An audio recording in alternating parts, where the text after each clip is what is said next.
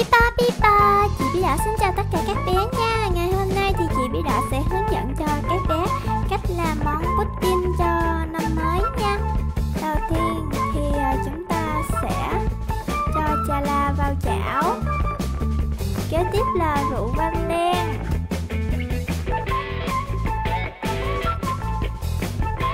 Nước nè. Và chúng ta bật bếp lên. Dùng một chiếc xẻng trộn đều lên Để cho không bị khét nha.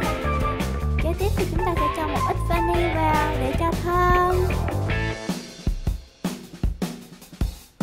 Và chúng ta đổ phần trà là đã làm rồi ra, ra một cái tô như thế này Và chúng ta đánh đều lên nha. Chúng ta sẽ đánh đều lên. Sau đó thì chúng ta sẽ cho bột nở vào trong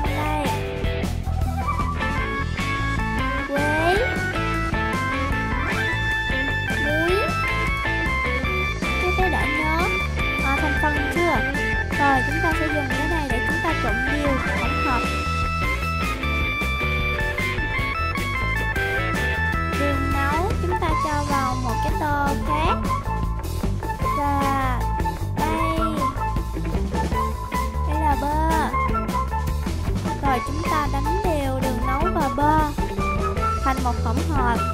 Nó trộn đều như thế đó. Rồi, chúng ta cho trứng vào. Một quả, hai quả, ba quả. Và chúng ta sẽ đánh lên tiếp.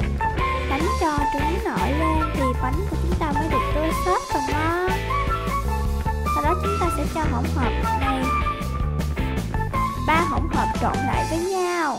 Và chúng ta sẽ trộn đều ba hỗn hợp lại thành một hỗn hợp vô cùng ngon luôn.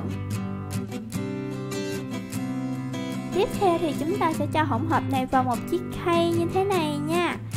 Và cho vào bếp nướng. Rồi sau khi uh, chúng ta bánh đã chín rồi thì chúng ta để ra Và cho rượu vào trong chảo. Bơ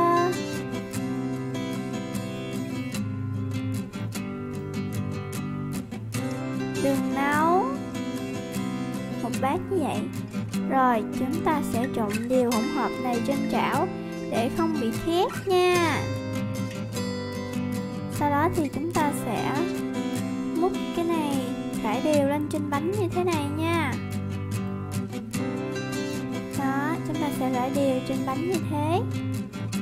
Các bé đã thấy chưa nào? Bây giờ thì Món bánh pudding cho năm mới của chị Bí Đỏ đã làm xong rồi. Các bé thấy có hấp dẫn không? Hãy comment cho chị Bí Đỏ biết nha. Còn bây giờ thì chị Bí Đỏ mến chào tạm biệt tất cả các bé. Chị Bí Đỏ chúc các bé có một buổi tối thật là vui vẻ.